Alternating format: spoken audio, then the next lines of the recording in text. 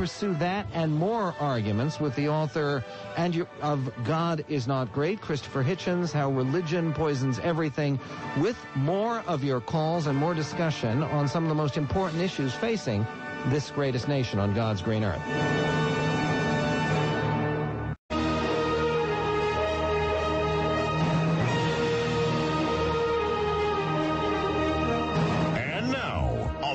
America's number one show on pop culture and politics. This is the Michael Medved Show. And another great day in this greatest nation on God's green earth. And in this great nation, religion has meant something different, something very different from what it has meant uh, around the world in prior world history. I think that Christopher Hitchens would agree with that. He is the author of God is Not Great. And part of the American religious tradition, it seems to me, has been largely, uh, certainly in a, a, Christian sense and also in a Jewish sense, to inculcate a, uh, a certain kindness in people. And that's why the Lubavitcher Rebbe, uh, Menachem Mendel Schneerson, a, a, great rabbi who died in 1994, who was not so kindly dealt with by Christopher Hitchens in his book, God is Not Great, once described America as a Malchus Shel Chesed, which means a kingdom of kindness or loving kindness.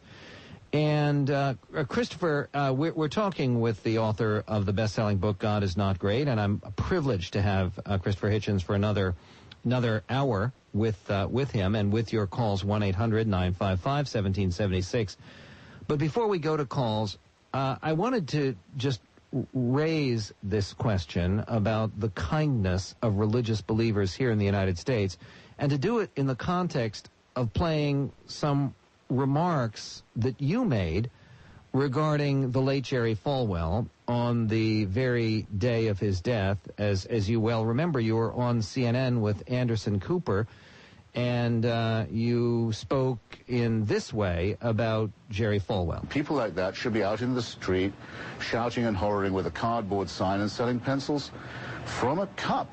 The whole consideration of this of this uh, horrible little person is offensive to very, very many of us who have some regard for truth and for morality and who think that ethics do not require that lies be told to children by evil old men. That we're not told that people who believe like Falwell will be snatched up into heaven.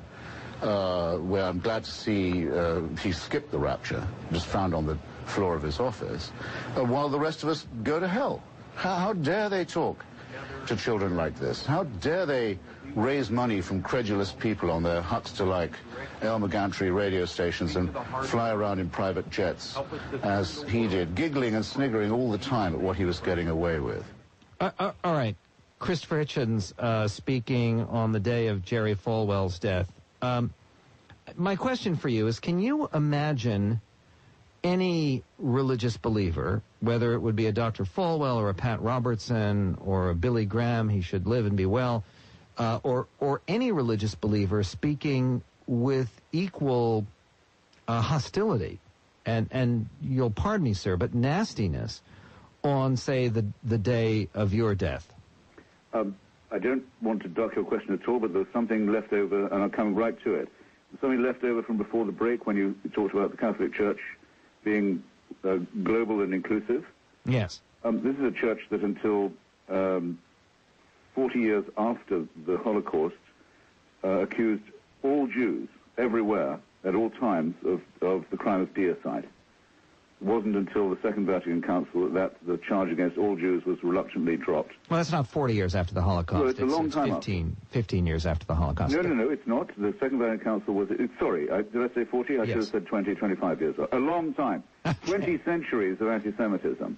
That's pretty tribal in my view, and only very reluctantly discarded, revived by uh, Catholic extremists like, like Mel Gibson, and implicitly revived by Mr. Ratzinger's attempt to reinstate the tridentine uh, Latin form of the Catholic Mass, announced only this week, which refers to the perfidious Jew in its, in its actual liturgy. Um, okay, but so let, us let, so let's, if, that point. Now, as, to want... as to Falwell, I was far too mild about the guy. I'm commenting here on the death of a fraud and a huckster and a liar and a racist and a bigot who had been excessively praised all day by the time I, as the lone dissenting voice, was allowed onto Anderson Cooper's program. And I said, I'm sorry, I don't want to hear all this pious talk about someone who made his life fundraising from prejudice. All right. And I, I think I was um, much, much too soft on him. And as to what they would say when I die, first, I don't care. Second, Jerry Falwell and others repeatedly told people like myself that we were going straight to hell. Not a very kind thing to say. No, I don't did, did Jerry, did Jerry, Fal- did Jerry Falwell ever say about you, Christopher Hitchens, about an individual who's in the public eye, that you were going straight to hell? Did he himself ever say that? His theology says it. Okay, his theology may indeed say that, but my point about okay, this is, okay, would you, would you, you as a person, his, his, uh, actually, I, I, was actually in the church once, listening to Dr. Ian Paisley, his um, his sort of Irish uh, Protestant Presbyterian equivalent. Um, uh, because actually he's more he's more tightly connected to Bob the Bob Jones faction of this of this racket to be exact than to the Jerry Falwell one. But I remember him saying that Princess Diana uh, had gone straight to hell because she was an adulterer on the day she died.